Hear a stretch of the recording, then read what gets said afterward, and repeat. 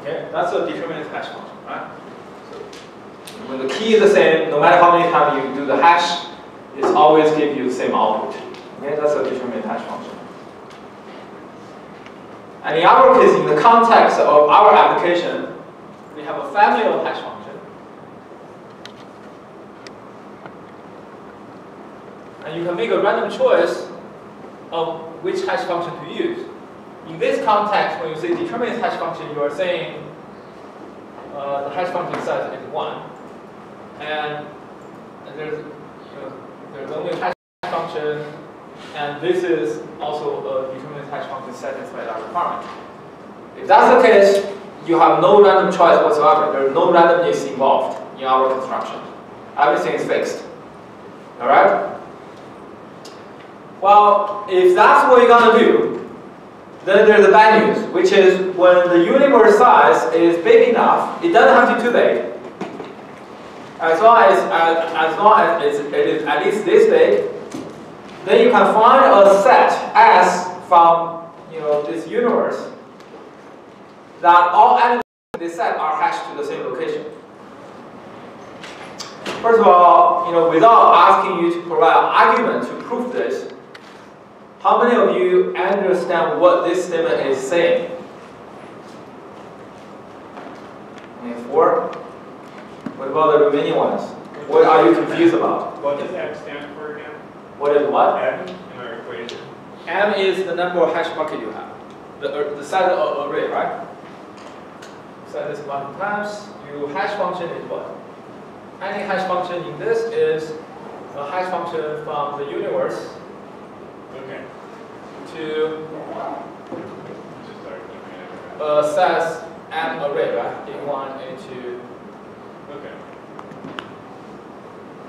right? That's what that's the setup. And the set of the s- is a subset of the universe. That's the setup. Right? That's the setup. So how many of you understand this understand this statement now? How many of you do not understand this statement?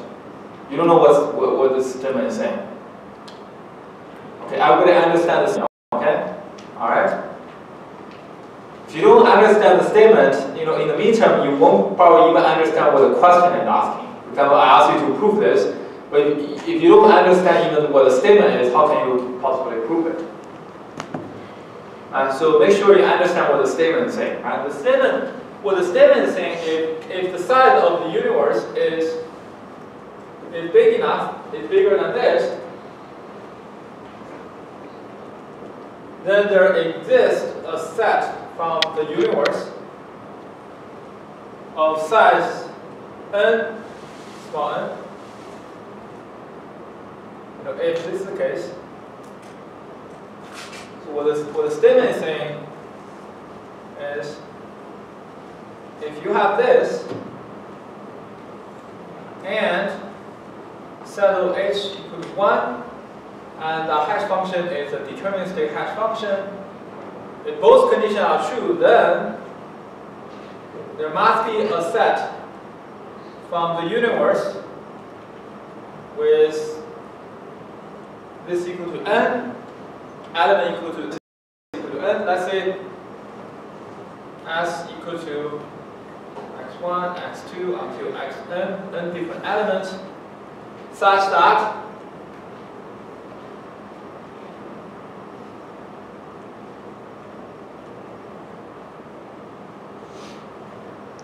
Okay, using this hash function, they all map to the same element. Do you, do you understand what, what I'm saying? No matter how can this be possible? I mean, you are choosing, uh, last time we said, we are using capital N to denote the size of universe. You have this many choices to construct such an S. How can you possibly find an S such that all of them map to the same element? like almost impossible, right? But it actually happens when uh, when this when this is. Okay, can anyone give me an argument? You have to learn how to prove your argument, right? Because that's what you need to do for midterm. I don't care what you do after my class, but since you are here, you have to do that midterm. So in the midterm, you have to do this at least. So you, you have to learn how to prove. So how do you Yes? I have some idea, but I don't know what it, whether it is correct. Okay. go I ahead. know theory, I don't remember what it's called, pigeon cage, Pigeon, pigeon pigeon cage or something like that. Okay. If you have like n elements and you put it in n boxes, so uh, every box will have the ceiling of n, n over m. And over M. Ceiling of the n over m. So this equation, uh, maybe can I write down the board? Yeah, you can run for yes.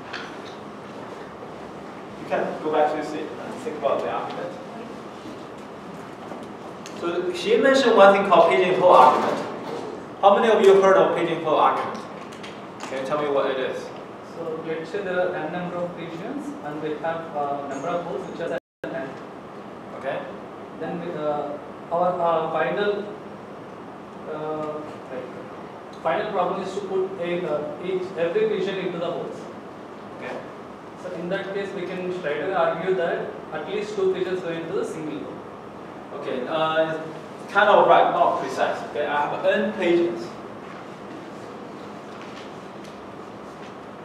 Each must go to a hole. It doesn't matter which hole it goes, it must go to a hole. And I have n minus 1 holes. Is that minus 1 holes? Not less than n. Of course, you can, in the general case, yes. What can you claim? At least two regions go into one hole. Uh, there is at least one hole that has two pages. Maybe more. Maybe all of them go to the same hole. I don't care. But no matter how you do it, must be one hole have at least two pages. Okay? Why is that? Why is that? The best case is if you want to avoid having two pages in the same hole, what do you do? You try to distribute those pages to different holes as much as you can. How many pages you can distribute to different holes in this case? Pages. The last page, no matter how you do, will end up with another page. So that's a simple pigeonhole argument. Huh? Yeah. Of course, you can of course put all n pages into the same hole, and the other holes are all empty. That's fine, but that doesn't contradict with what I'm saying. That there is at least one hole has two pages. Okay.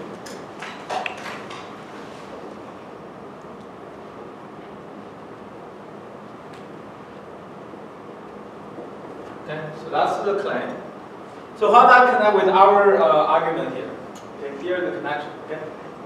So she kind of make it right, but she didn't make the final argument. So it's still not right if you, you argue this way. Okay. The argument is as follows. I have m. No, I have you know the, the, the, the way to look at it is I have m array elements. I can view this as m holes I have. I have m holes, right? You follow me? Now imagine if I, if you look at the patient pigeonhole argument, the best case for the adversary is to do an even distribution of pigeons into holes. That's the best you can do to avoid having duplicates. Is that right? Similarly here, the best you can do from a hash function point of view is to do even distribution of elements to different uh, hash bucket in output. So each has one element, each has two elements, each has whatever elements. Is that right? So let's say each has n minus 1 elements.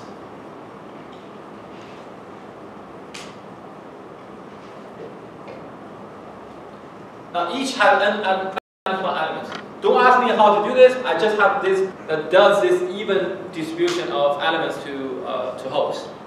How many elements in total you have now at this point? Total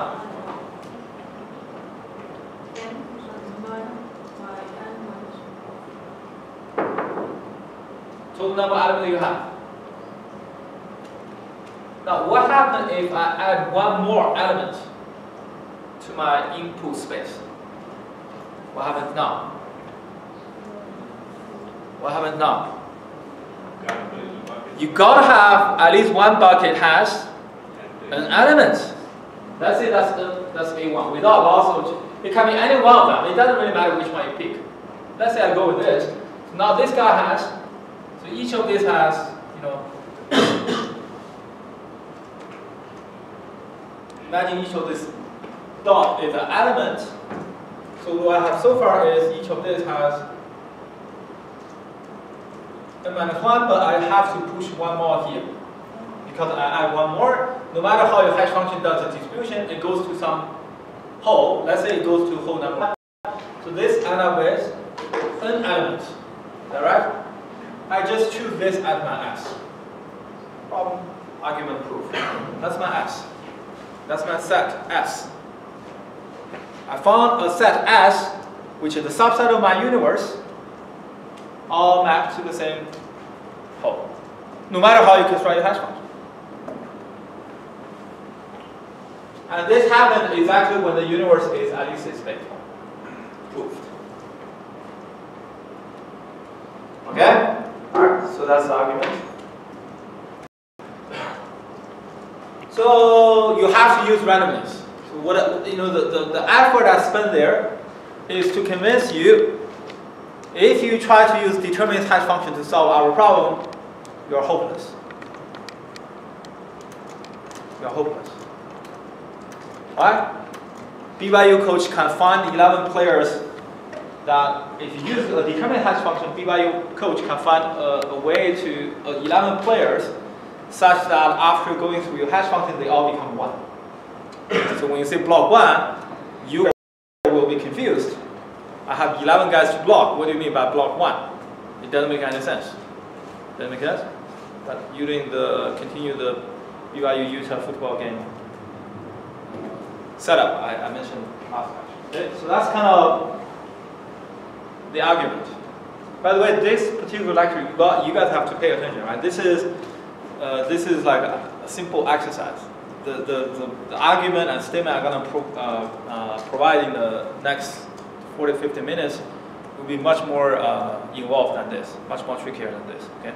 So if you don't pay attention, you will get lost for sure, okay? All right, so, so that's this. So we need to use randomness to solve the problem. So we introduce something called universal hashing. So the idea is as follows.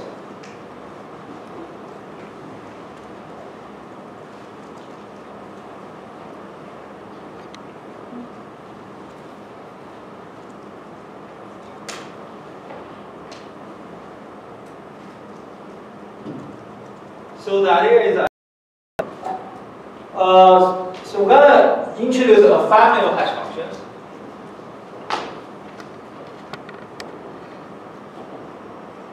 Let's say I use uh, I know small n to denote the of hash function I have. Is that okay? And any hi satisfy the following uh, requirement. Hi is a any hi from this family is a determinist hash function, and hi is a mapping from the universe to uh, uh, to a set M array. So every hash function in this family satisfies uh, the following two conditions. Any question on this? Yes?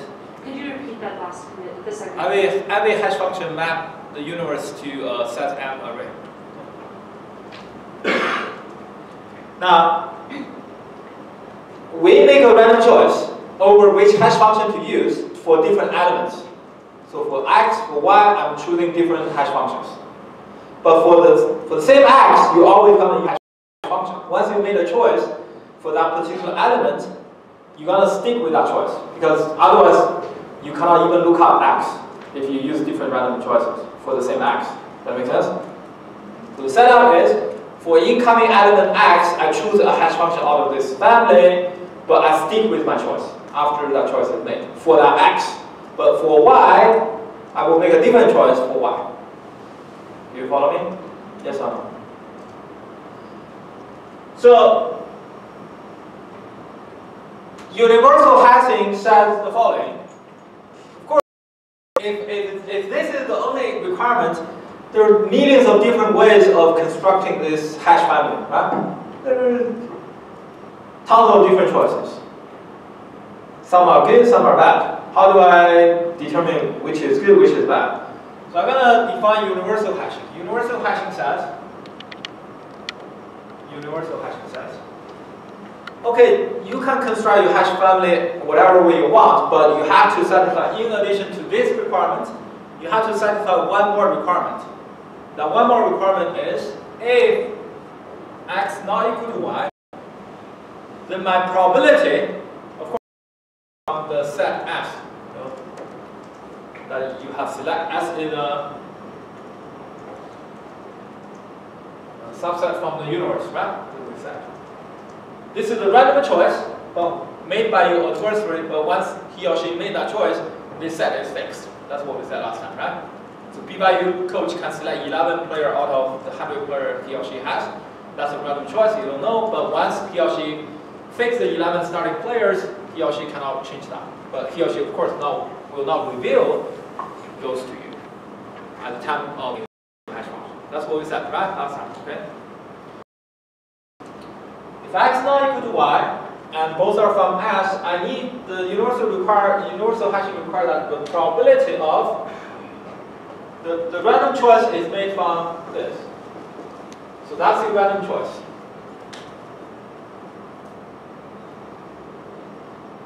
That hx equal to hy must less equal than 1 over n. The size of your array. The Euclidean probability must be uh, less than just randomly choose a hole to go to go to. That's essentially what it says. Do all of you follow this argument? The random choice is made over this, and that's how you calculate the probability. Okay?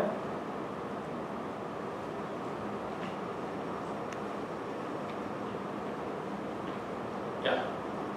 I just, I- I'm wondering if you could, that math equation makes it look like you could possibly construct two hash functions that can perform better than a simple random choice. Uh, It- that- mean, deterministic doesn't doesn't solve the problem. Right, yeah, I, I suppose what I'm Two, when you say. two, that's essentially you are saying I'm equal to two, small I'm equal to two. But two might not be enough to give you this property. Right. Okay, so that's what we're Can you, can you construct a, a family of hash functions Uh huh. that for any two x and y that are not the same, uh, the probability of them ending up in the same bucket is less, is less than the probability of just choosing randomly?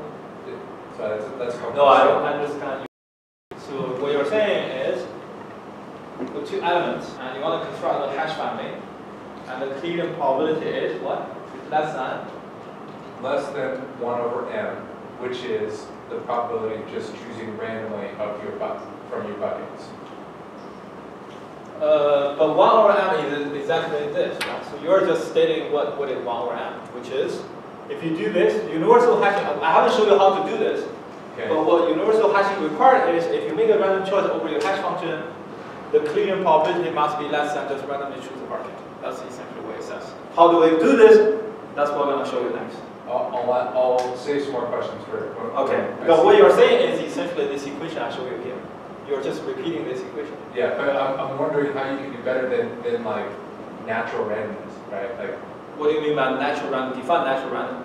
Uh, so, so naturally random is, again, you have your n buckets, right? And natural, the, the probability that. I see what you're saying. You say just randomly choose one which element to go, but I just argue to you if the size of the universe is bigger than this, even if you ask each of them to go a random place, I will find a subset where all n elements end up in the same target. That's what we just argued.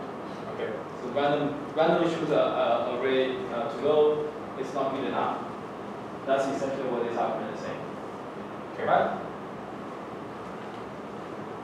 When the universe set is that big, you will have one subset. Even if you randomly choose bucket, all elements in that bucket will end up in the same, Uh, in that set will end up in the same bucket. It sounds counterintuitive, but what the trick is you are selecting, you, you have n choose n different sets. And one of them will end up being hashed to the same bucket, even if each element of the universe is randomly distributed to different buckets. That's the catch. Because you have many different sets, So I guess I'll, I'll look for the improvement that, that will make. which I just made. Okay, if you review that proof. All right. So if H is universal, then for any set S of set M, and for any element in the universe, uh, if we construct the hash function at random according to a universal hash family, meaning you choose a random hash function out of that family, the expected number of collision between X and other elements in S is at most n over n. At least n over n. Okay? So how do we prove this argument? First of all, let's understand this argument. What, what it says. What it says is I have a set S, which is from the universe U, and any of them.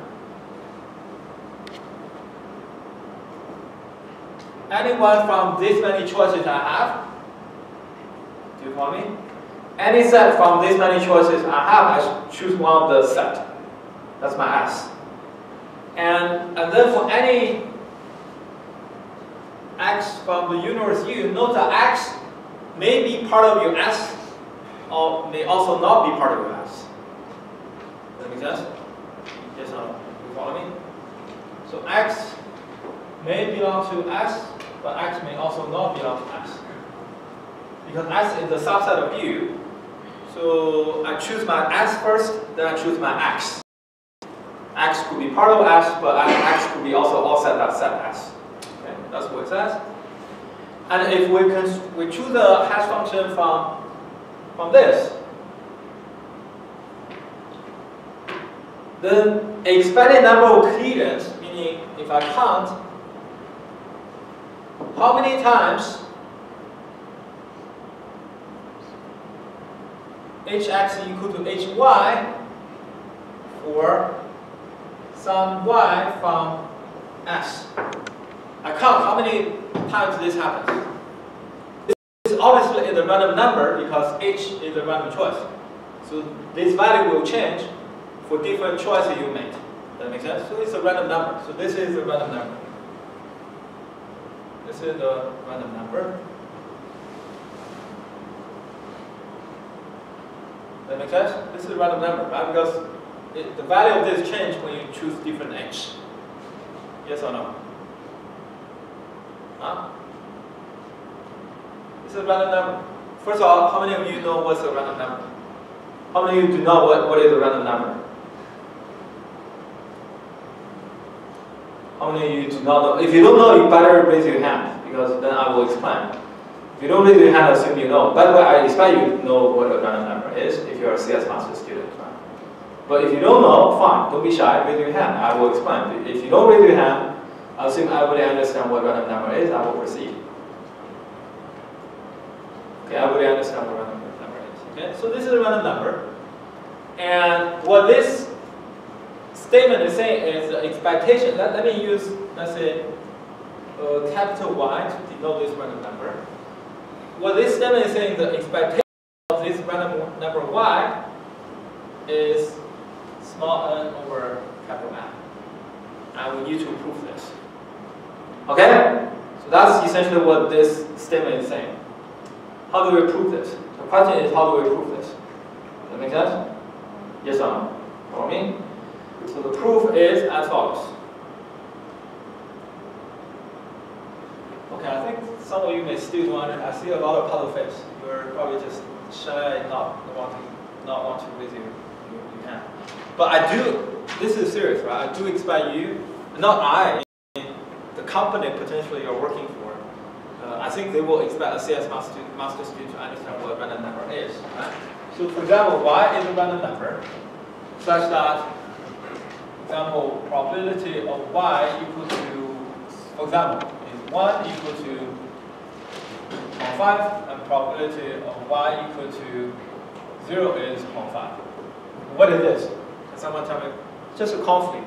You flip a coin, half probability you get head, let's say head equal to 1, half probability you get tail, tail equal to 0. That's a random number. This is, this is the simplest random number you can expect. And what's the expected value of y in this case? Can someone tell me? For this random number, what's the expected value of this? Huh? 0.5, right? Why? Because 1 times 0.5 plus 0 I mean, random number is important. Why? Because our human entire civilization is built on randomness. At least to me, I hope that's the case. Right? I don't want to live in your, in your universe, everything is deterministic.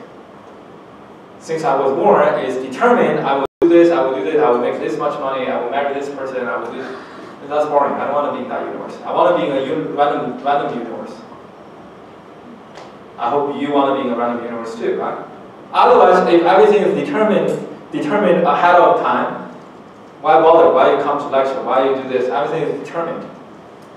Does that make sense? So we are in a universe of randomness. Right? So this is a simple example of random number. Of course, this is a much more complicated random number, which is how many times uh, uh, clearing happens. Could be one, could be two, could be. In the worst, you know, the, the max number of this is what? how many clear total clear? You know, in the worst case, n, right? You you you you you you have a clear with every single element of S. Smallest value is zero, right? So this is a number between zero and n, obviously. But it's it's it's not a deterministic value because the choice h is a random choice. So the, for each h, there is a fixed value. For each h, there is a fixed value. Does that make sense? And there are these many choices you have, I'm asking you how many, what's the expectation then? And that's the argument. How do we prove this? So the, uh, the, the, the, the, claim is the expectation is n over m, small n over capital M. How do we prove this? Here is the proof. Let me go over this and see whether you can follow along.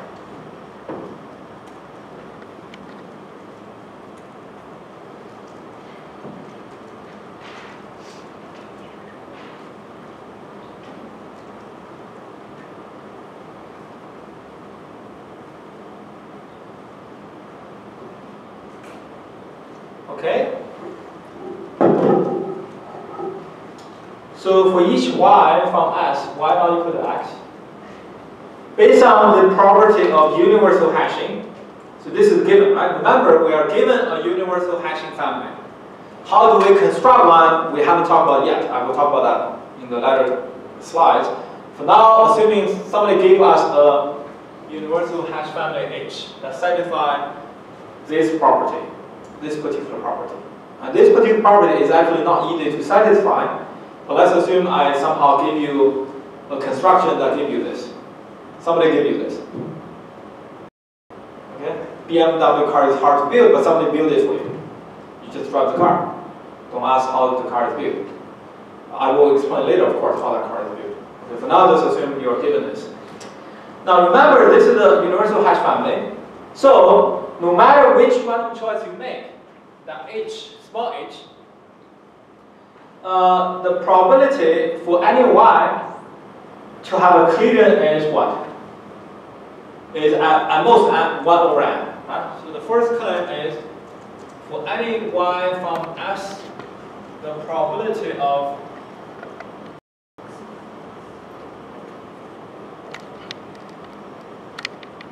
and this is what? This is just the property of universal hashing.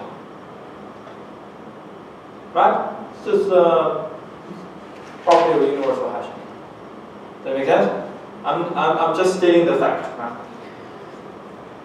Now, I will define, next I will define a, this is a particular trait people use all the time called indicator variable. I call an indicator uh, random variable. This is a random variable. I just explained what, what a random variable is. A random variable has multiple choices, each choice has value and associated probability. It's a probability distribution. Describing a probability distribution, that's what a random variable is. So I will define an indicator random variable that says cxy equal to 1. So basically, okay, let me change to this. Equal to 1 if equal to 0 otherwise. A very simple uh, variable I define. If y complete, the value of this is 1 otherwise 0. That make sense? Now, why this is a random variable? Because this h is a random choice. So the value of cxy will be different depending on which particular h you choose out of that hash family capital H. That's why it is a random variable. The value of cxy is not fixed. It changes its value depending on the choice you make on the small h. You I mean? That's why it is a random variable. That make sense? Now, let Cx equal to the total number of clearance for x. The total number of clearance for x. x is what? Look at this statement. x is element you choose from the universe. Total number of clearance represents how many clearance you have with element from set S. By this definition, what is Cx? Cx is simply the summation of Cxy for y from S. Right? Why, why is the summation? Because if, if there, there is a clearance is 1, total number of clearance you have. Right? That's the trick of indicator variable. Of course, you want to get rid of the special case. If, if there's an element x in, in S that's x, then of course you don't count it. Okay? You don't count the self-clear. Right? You, you get rid of self-clearance. Okay, so that's it, right? So, so far follow me, right? So the expectation, so what we are trying to prove, now you know what we are trying to prove is the expectation of this must be this. That's what we are trying to prove, right? How do we prove this?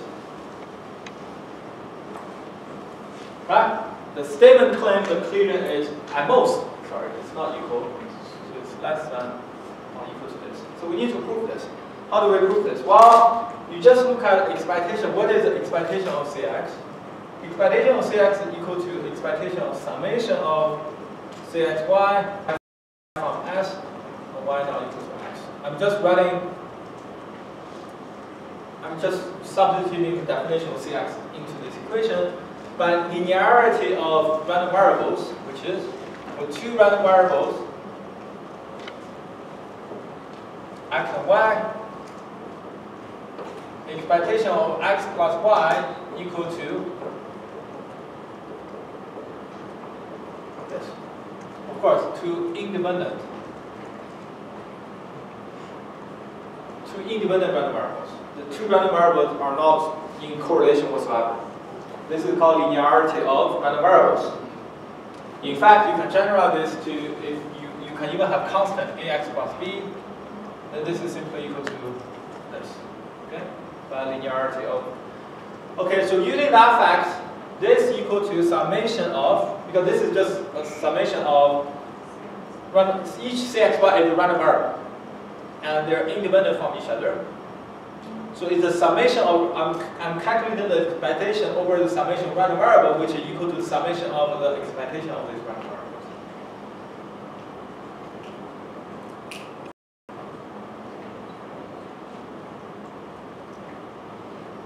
Okay? So it becomes this. Right? Become this. Become this. And what's the expectation of CXY? Yeah, that's exactly what universal hashing is supposed to give you. So this is, but using these two facts, we, we can claim that expectation of this must less equal than 1 over n. So this whole thing must be less equal than Sorry, I don't remember. for 1 over n how many times? n, n times, because you sum over all the elements in S. And. Okay? Okay? So what so what what the, what the particular statement says is that universal hashing really what, what really universal hashing gives you is a even distribution of elements to uh, to the bucket.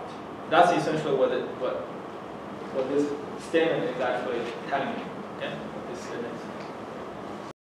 So the next question is okay, universal hashing sounds really cool. Okay? uh, how do you construct universal hashing? Like now you test, you know, essentially what we're doing is I tell you, okay, there's so many nice features about BMW, and you test drive the car, you don't believe me, you test drive the car, now you say, oh, this is a really nice car. I prove all this nice property for you. But now suppose, of course, in, in human society this doesn't happen all the time. Most people just, oh, nice car, nice features, I test drive, I like it, I drive away. Left happy afterwards. But for very few of them like ask, okay, how can you build such a nice car? I want to build one on my own. Okay, suppose you are in that small category, then that's essentially what I'm going to explain to you next. How do we construct such a universal hashing family? How do we construct this? The, the construction of this is not trivial. Okay? Construction of this is not trivial. Me try to show this. But it's very, in my opinion, this is one of the most beautiful, elegant things uh, on hashing. Okay? And it actually shows you a, a simple construction can have powerful features.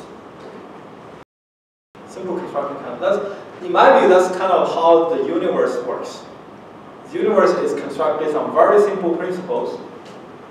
With a little bit of randomness, you got the universe. But the, the governing principle is so simple. Okay? So let's look at universal hashing. Now let me, I, I need to use the entire space. So let me get rid of this.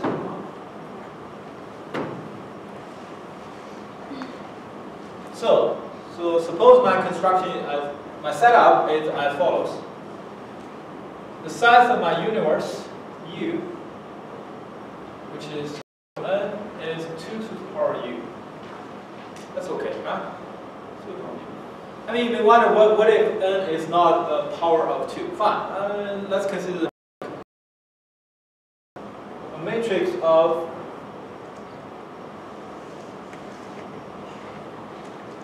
of m by u matrix of 0 and 1 bits. m by u, you don't have to take notes. Uh, this, this is not the slide. Next slide. My, my universal hashing family is simply a matrix of m by u. First of all, how many of you know what a matrix matrix is? You all should know it, right? We have matrix. There are three films on matrix. How can you not know it? You have three times to learn what matrix is. Right? Although I only like the first one, but you watch the film Matrix, right? Do you? The idea is you take humans and you place them into cells of row and columns. That's matrix. Okay, that's matrix. Of course, here we don't take humans, we take bits 0 and 1. That's it. If I take humans, I will be in jail right away. So I take bits of 0 and 1 into this.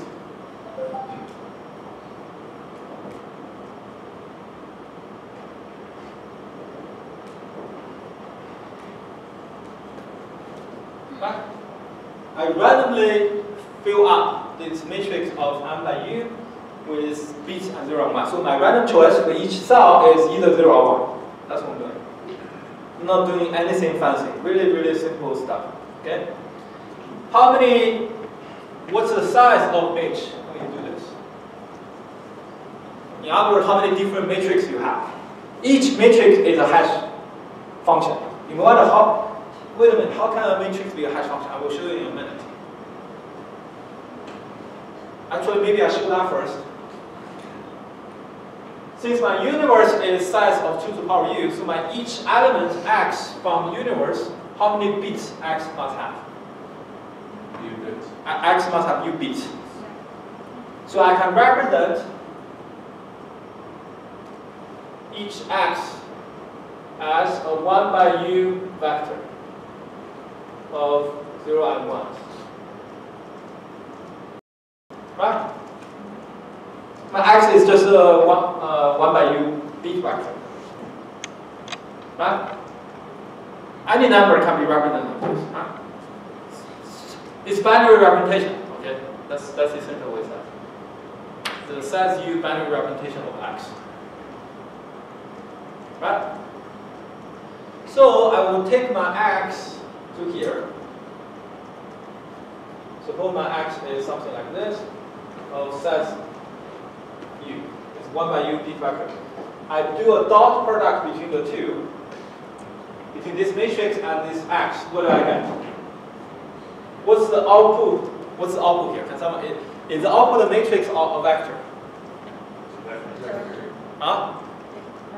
Of course, you can argue vector is a special case of matrix. Okay, let's not consider vector as a matrix. Okay, is the output a matrix or a vector? Huh? Is output a vector or matrix? Let answer this question. Vector or matrix? Vector, right? It must be a vector. So m by u by u by one, the output is m by one. The output is m is a m by one vector. So it must be, and of course I do the dot product. Uh, one thing I forgot is the whole thing uh, modular two. Mod two. So out, the, each bit in the output is either zero or one because I'm modular by two. It can be only either zero or one. And this is of size m. So what's special about this? That's exactly the size. That's exactly the output range of my bucket. So what this output tells you, if you convert this to a, a decimal representation, it tells you this is a value between 1 and capital M. The capital M is to the power M. So this tells you which bucket this element goes. Right? Hence, this is my hash function. That's my hash function. This matrix is my hash function. Precisely my hash function. How do you do the dot product? You take the first row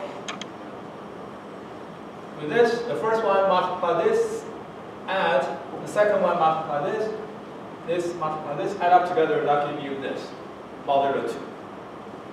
If you don't know what dot product is, you should go back and review what dot product is. Okay. That make sense? So far so good? Similarly, you take the second row, which is set u, first one multiply with, with the first one, add with second one multiply second one, third one multiply third one, add up together, modular 2, that give you this value. You do this m times, that give you a set m output. So that's my matrix. That's my matrix and that's my hash function. So each matrix define a hash function by now. You should realize this, right? Is that right? How many hash function I have? Huh? How many hash function I have? Nine. Two, uh, to the power of m times two. Excellent.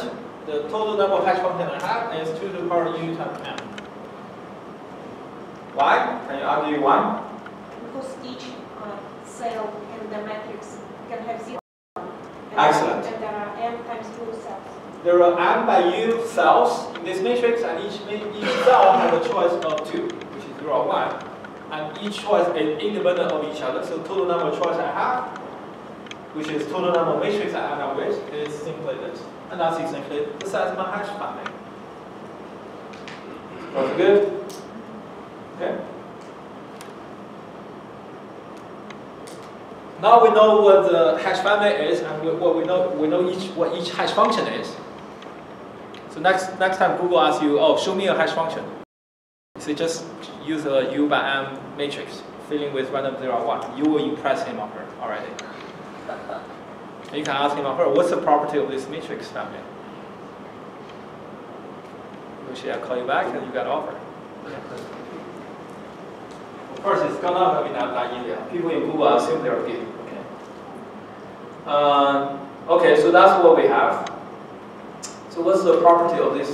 You may want to find, you know, sounds interesting. Vector constructions. It's, really beautiful that the matrix can be used as a hash function, which I didn't realize. Now you know matrix can be a hash function. So that matrix movie is not made of nothing. I mean, that matrix can do actually something for you. even with just zero and one bit. Uh, imagine you put a human in each cell. Can do even powerful things. All right. Uh, what's the property of this uh, uh, this hash family? Can someone make a guess? We- We're doing this in the context of universal hashing, right? So of course the property is clear probability must less than. If I do this, my this must give me probability of if I choose this, the clear must be what? It must have this property. Otherwise, why I'm spending this much effort on this? Right? It must have this property. But why? Why it has this property?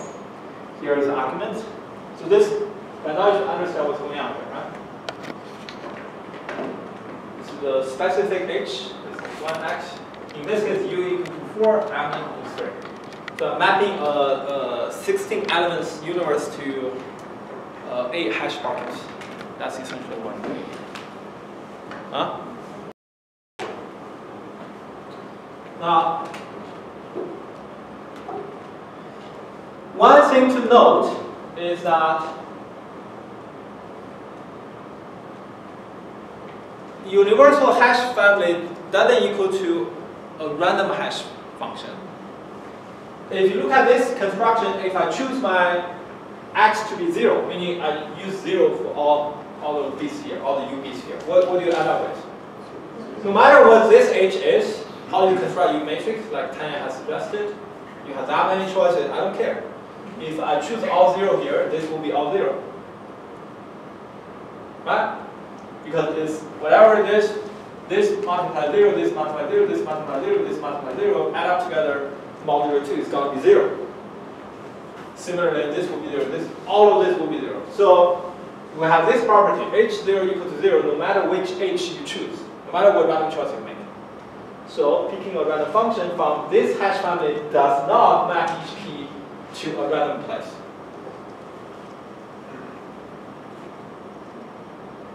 If it does, if picking a random function from h does key to a random place, proof is done, right? Then the expectation of the clearing must be 1 over n because each key goes to a random place.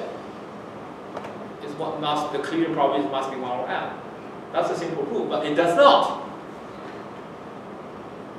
Right? That's why I'm arguing this, right? No matter if you don't have this property, if each key doesn't map to a random place, how can clearing probability be still 1 over n? Sounds like impossible. But that's the beautiful part of this. It, it still does. Even though we don't have this property, the clearing probability is still 1 over n. Why is that? Okay, the proof is a little bit tricky, okay? I hope all of you can follow me. Okay? The proof is as follows. If you look at what this hash function is doing, what does it do? It's adding up columns of this matrix, right? With this statement. We can think of adding some of the columns of H. where the one bit in X indicates which column to add. What does it mean? This multiply this, uh, add up together to this. The one bit indicate I'm adding, in this particular example, I'm adding the first and third column of each row.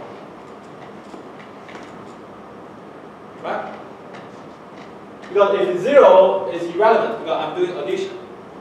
And zero multiply whatever give you zero, and you add up together has no effect. So essentially what you're doing is, you are using this x as the indicator at which column from each row to add up. You are adding up. To, of course, modulo 2 in the end to get the final output here. Another observation, of course, goes without saying is each cell in the output is either 0 or 1 because you are modulo 2. Does make sense? Now, what's the effect if I flip this bit from 1 to 0? What happens? If you flip a bit from 1 to 0, you will flip this from 1 to 0. You know, if the column is not 0, of course. If it's 0, flipping this has no effect. Then multiply to 0. But if it is not 0, if you flip this from 1 to 0, it's kind of like you're adding one less, you're adding one less to the total sum. and the result, this will be flipped from 1 to 0 because you are modulo 2 each one, each additional one will flip the output. 3. 3 become 1, 4 become 0, 5 become 1, 6 become 0, so on and so forth. So one more value to the sum after modulo 2 will basically lead to a flip of the output bit. Because we're modulo 2, we call it modulo 2. That make sense? See some color bits, okay?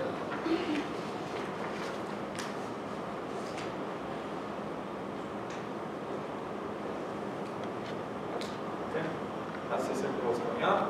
One more value to the sum lead to the flip in the output because you are modulo 2. Okay? Sounds good? That's a key, that's a key observation. Okay, keep in mind that's a key observation you have. So what we're doing is we're using this x to add up some of h to determine. But you have to remember we are determining not the entire output. We're determining only a single bit of the output. And you're doing this for m rows, leading to m different bits. But for each bit in the output, this x basically indicates which column to add. That make sense? That's essentially what's going on. Now, when, when does clearing happen?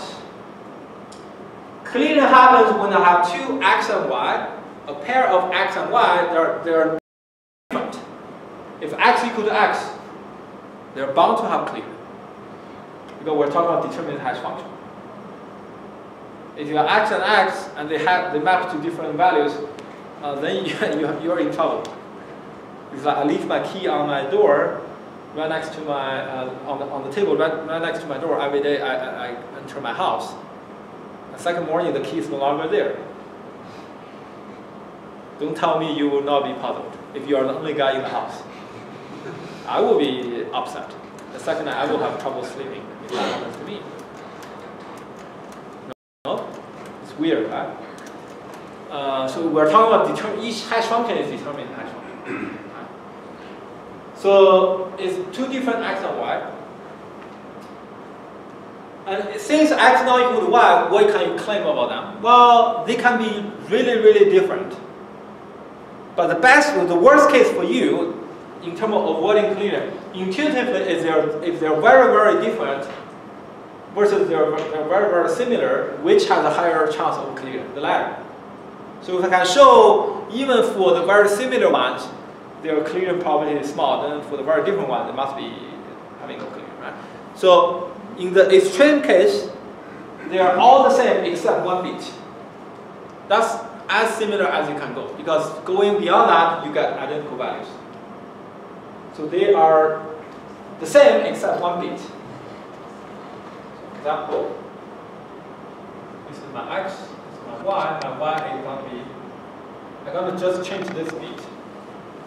Then the remaining ones is identical. They only differ here. Okay? That make sense? Now, without loss of generality, okay, I should use uh, by, uh, to be consistent with my proof. Let's say this, they differ in the next bit.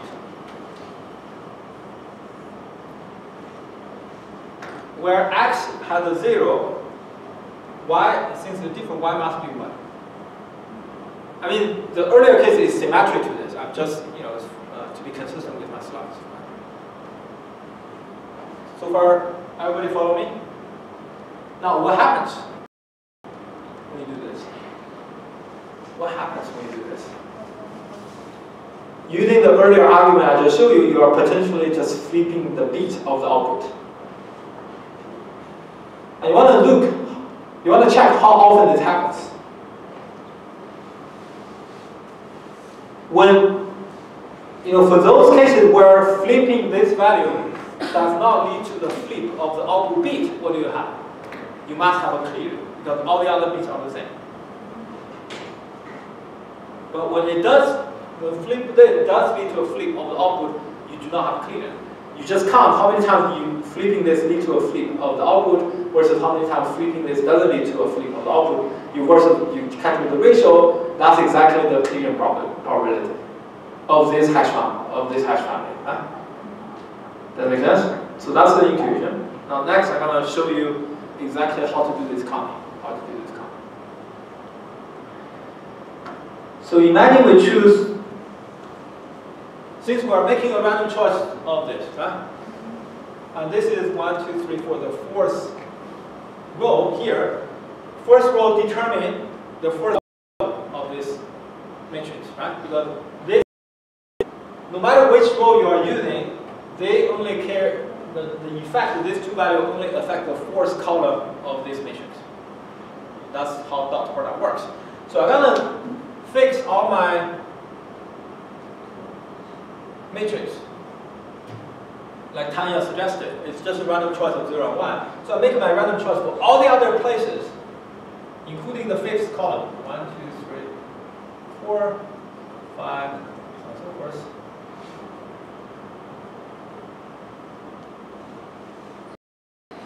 But I'm leaving out the fourth column.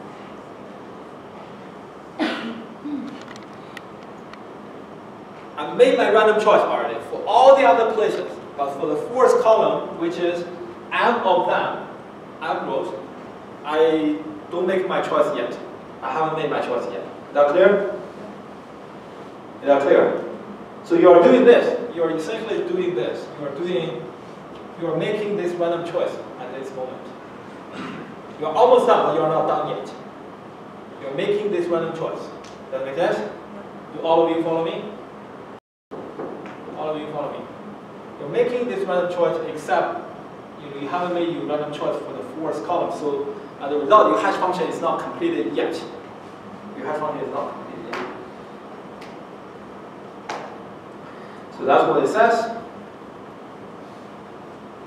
Now, the second statement says, over the remaining choices uh, of ice columns, h axis is fixed. Meaning if you don't count this one, does this multiply everything else except the s row of x, they are fixed. This multiply this, this multiply this, this multiply this, this multiply this. You sum up together except this is fixed. That make sense?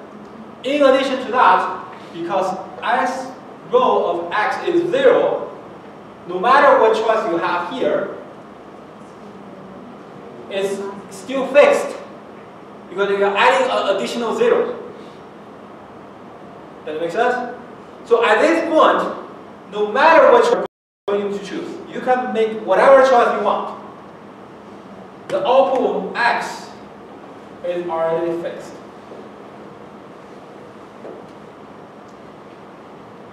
No matter, even though I haven't made my choice yet, hx is already fixed because this is zero.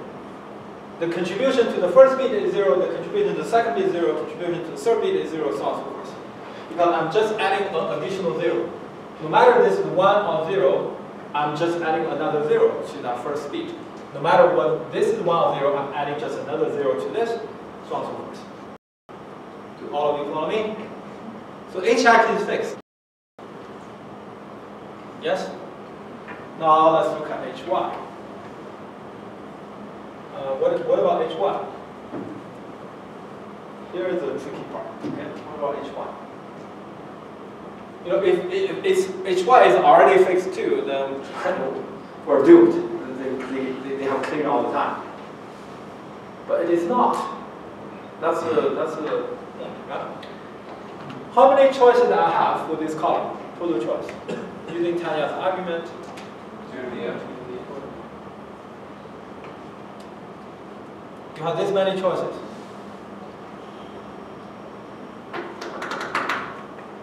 You, you have this many choices, right? Which is just M, which is capital M. And because this bit of y is 1, and you are doing modulo 2 operation, you're doing modulo 2 operation. Out of these many choices, there's only one choice gonna lead to the identical hx output, which is that choice. Zero is all the way down. Zero all the way down, exactly. Why? Why that's the only case lead to the same. First of all, that is easy to say if it's all zero, it lead to the same output as your hx because essentially you're adding an additional zero to every bit of the remaining one. The remaining one are the same. They, they multiply, add up together. If it's all zero, multiply zero, multiply, uh, one zero, so you add zero to the first one. You add zero to the second one, so on, so it must be the same as that hx. Do You, all of you follow me? So that's the only choice leads to the same. output. but why, if I change, for example, second one to one, it leads to a different output? Well, if you do that, if the second one is a one, then for the second row, which determines the second bit of the output, you are adding an additional one to that bit. But this argument, now will flip that particular relation. Now, any one in any position will lead to a flip of the corresponding bit, which leads to a different location in the hash bucket. And there's only one choice out of these two m choices that lead to the same output, which is, so the clear is what? The clear probability is two to the n. Is exactly this, which is annual proof, okay? Annual proof. We're done. Okay, so that's the proof. Not easy to understand, but once you understand it, it's like simple. Okay, it's like one plus one equals two. But if you don't understand it, it's like really hard. But once you understand it, it's really, the argument.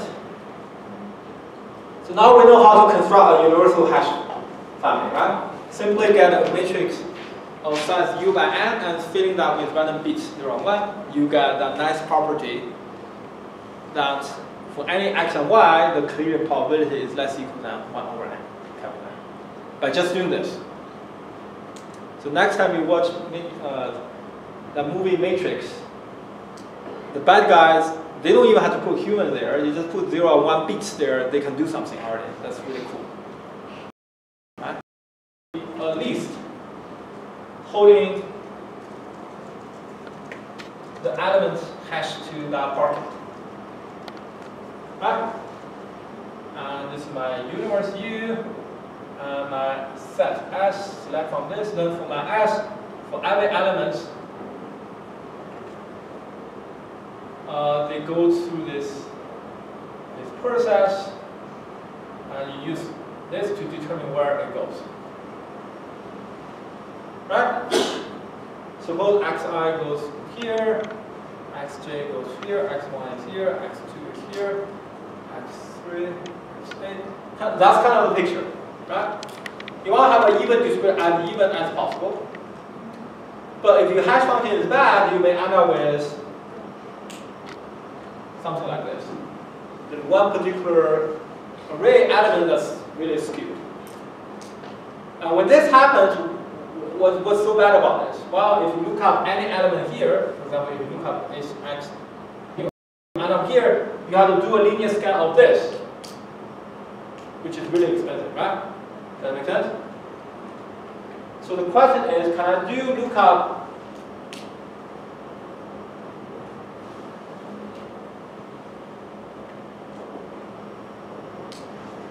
I do this? What essentially it says is, I want to make sure I don't have long list. Each list is of size constant. May, may not be one, but must be a constant, one or two or three. So that no matter where I go, I just scan the cost is just constant. That's essentially what I'm saying here, right? That make sense? Yes? Yes? Yes? Ob- Obviously, this is determined. This is dependent on this value, right? If my m in the extreme case, if m equal to one, you are hopeless. Well, no matter how smart you can design your hash function, you can be as smart as whoever you want to be. All of them end up in the same bucket. Then you look up cost is what? At least yes. All n elements end up in the same bucket. Right? So how do we uh, universal hashing says nothing about the size of your hash output, right? Only says universal hash only says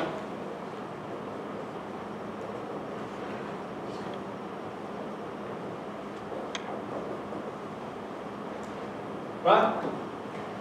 If m equal to one, what this says is clearing probability less than one. Oh, that's good to know. So I'm gonna rest tomorrow. Yes, I mean it's a fact. There's no dispute about that. But, but, but what's what's so special about it? That make sense? So universal hashing only tells you the clearing probability. It doesn't tell you what's the cost of lookup. Do you follow me? For example, m equal to 1, your lookup cost is still linear, and I tell you the collision probability less than or equal to 1. Oh, fantastic. Of course, um, a clearing probability cannot be greater than 1, right? We're talking about probability here. Oh, so I'm gonna rest tomorrow with the probability. of- Oh, if, I, if anyone tell you like that, you know, you don't want to be a friend of that person, right? Well, who, who know what else, what, what other crazy thing he or she can do. Uh, you have to at least make sense. Probability cannot be greater than one, right? So you are stating really nothing. Okay. All right. Uh, so even for universal hashing, we are not still not clear. How do we make sure the lookup cost is constant? Well, there's a simple construction to make sure the lookup cost is constant for universal hashing. How do you do that? Well, I simply set m equal to 1 over n, uh, sorry, m equal to n. I set m equal to n squared, then I claim if it's universal hashing with collision probability less than or equal to 1 over m, and my m, my number of number of holes in my output is n squared, I guarantee you lookup cost constant. In other words, the list of each list must be a constant. Cannot be really long. How do we prove this? Do you follow my argument first of all? And why n squared? Why not n to the power 1.5? Why not n, cubed? Why not n to the power 4? One thing that's clear though, anything bigger than n squared of course will work as well. You're, you're, you're adding more holes. The list can only be shorter if you do that. Meaning the lookup cost can only be smaller if you do that. But there's a, there's the overhead, right? You have to hold that many holes. It's not like these holes are free. You have to hold them somehow. It costs you memories. So why n squared? Why can you go smaller than n squared? Why not n to the power of 1.5? Why not n to the power of 1.8789? Why must be n squared? Okay, there is a reason for it. Uh, let's try to prove that. So the claim is if h is universal and m capital M is n squared, then my it's not clearing probability, but there's no clearing at all for any two elements in S is at least half. Meaning if so what I'm claiming is this and h is universal.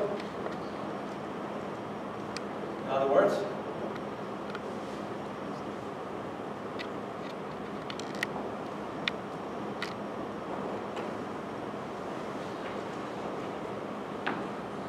So given these two, I'm gonna claim that the probability of okay, probability of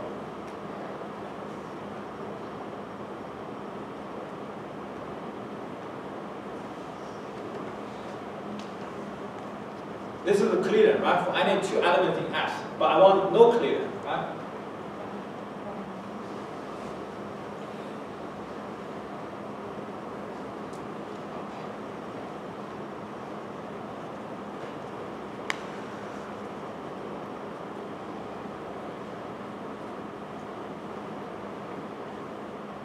Clear never happens for any element in S is at least half.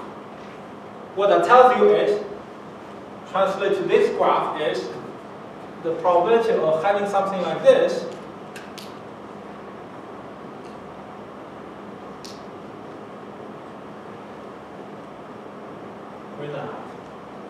Because when there are no cleaner, what happens? Each hole has at most one element. If, if a hole has more than one element, that means there is a cleaner. No cleaner at all means of course, some hole may be having no element at all. That's possible. It's not possible. In this case, it's not possible every hole has an element. Why? Because you only have n elements, you have n square holes, so there must be a lot of holes that are empty. If you have at least one element per hole, you must have n square elements to begin with. You cannot have just n elements. So you must have a lot of empty holes, but that's okay. What I'm claiming is, no matter how many empty holes you have, but if you do have an element, you have only one element. You don't have two elements. And the probability of that is at least half. When what when when this is the condition, when this is the n square. That's essentially what we're trying to prove. Do you follow me? How do we prove this? The question is how do we prove this? And of course, this is a really good news for us, right? Because when this happens, your lookup cost is what? It's constant, right? It's like at most, at most one element per hole. You, you go to any hole, you, you find your pageant, there's only one pageant there. Or no pageant. I mean, lookup cost is constant. You don't end up with a hole with millions of pages. You have to check each one of them. Right? So that's essentially what's going on. So, how do we prove this? Uh, how many XY pair in S? Possible combination of two elements. Well, that's just n choose 2. Right?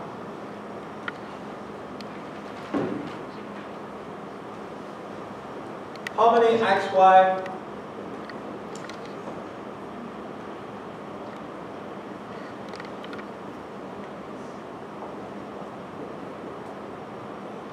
distinct such pair in S?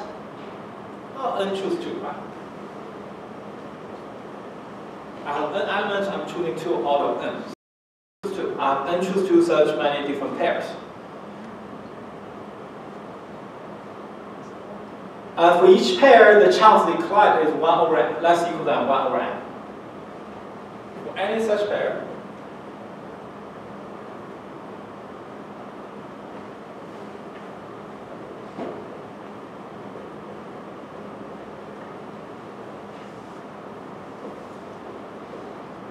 by the construction of universal hashing. We are using universal hashing, so this must be, of course, if I'm not, I must be precise, I'm making my random choice there.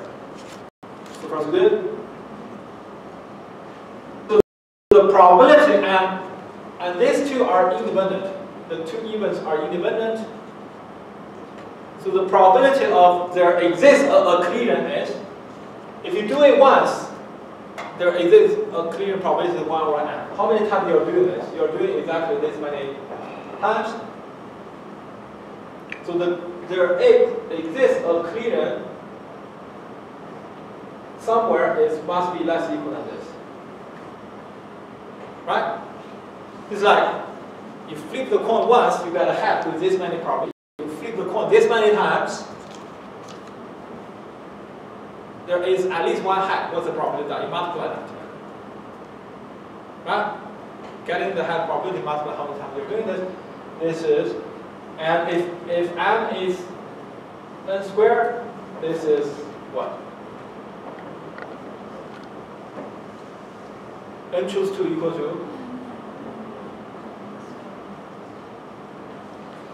And this is less than half. So the probability for there exists a clear half. So no probability, no clear must be greater than half. Because the probability space is there exists at least one clear or there's no clear at all. Add up must be equal to 1. If there's at least one clear, the probability of that is less than half, then no clear must be greater than half because they add up to 1. No, because they add up to 1.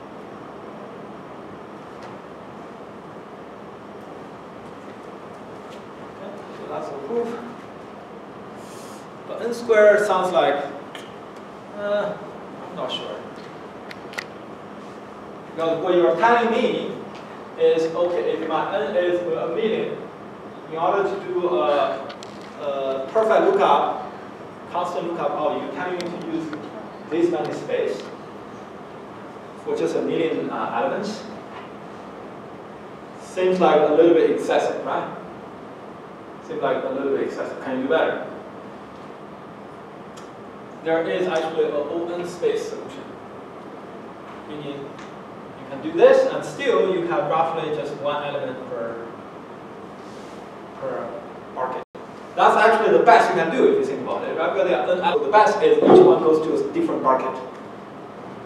How do you do this though? Uh, this is, you may wonder, okay, wait a minute, this is trivial, right? I mean, I have n elements, I just make sure the first element goes to the first, but keep in mind, at the time of designing your hash function, you don't know what that set S looks like. You have to choose your hash function independent of the other guy choosing that set S. It's like a game. You make your move, he or she makes his or her move, independent of each other. Once you make a move, you cannot change, meaning you can change your hash function, he or she cannot change what sets an element he or she has choose from the universe. Then you reveal both of them submit to a judge and check what the looks like. It's not like he or she makes the choice of S, of an element tell, and send those n elements to you, then you say, oh, easy, first one goes to first, that's my hash function. No, it's not like that. You don't know what those n elements are. That's, that's the tricky part, you have to understand, right? So this is actually extremely hard to do. It's not easy to do, and this is called perfect hashing. Uh, I'm going to skip this part because to understand the proof is fairly involved, so I'm going to skip this. And this is a static case. Static case means that you adversary choose an element, and he or she then make no change afterwards. What if he or she can make change afterwards? Can you still do this? Uh, that's what we call the dynamic case, and people have done something called cuckoo hashing for that. Uh, I'm gonna uh, skip this. Uh, if you're interested, you can read the paper. Uh, I have to stop here. Uh, next lecture, I'm gonna continue, on Thursday, I'm gonna continue the discussion with something called K-universal hashing. It's an even more powerful construction than universal hashing. And with that discussion, by the end of that discussion, you should be an expert on hashing. Probably there's maybe one or two guys from Google knows better than you than hashing. Maybe one or two is exaggeration. Maybe less than 100 people in Google knows better than hashing by that time. If you fully understand what I'm saying, of course, maybe you don't fully understand what I'm saying, then that's a different story. If you fully understand what I'm saying and although all the proof I give you, then you should be an expert on hashing by then, uh, after Thursday lecture, okay? All right, see you on Thursday.